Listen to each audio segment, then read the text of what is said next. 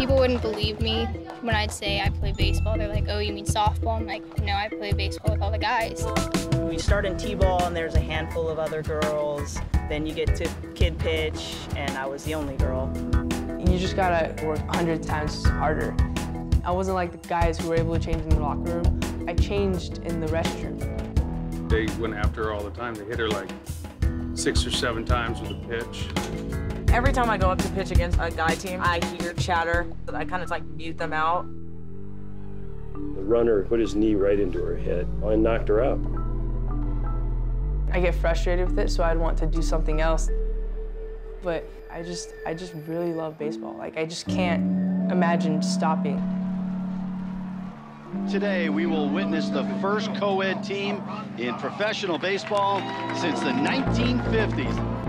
She was on the mound, and she came up like this and hushed.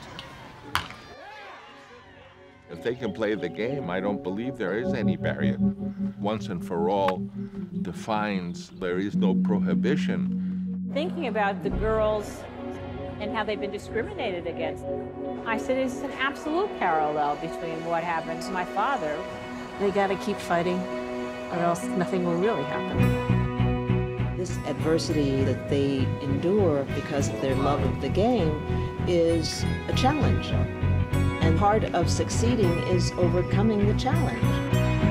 People would say, I totally get what you're saying. Like, I know what you're feeling. Like, no, you don't. You're not a girl that plays baseball.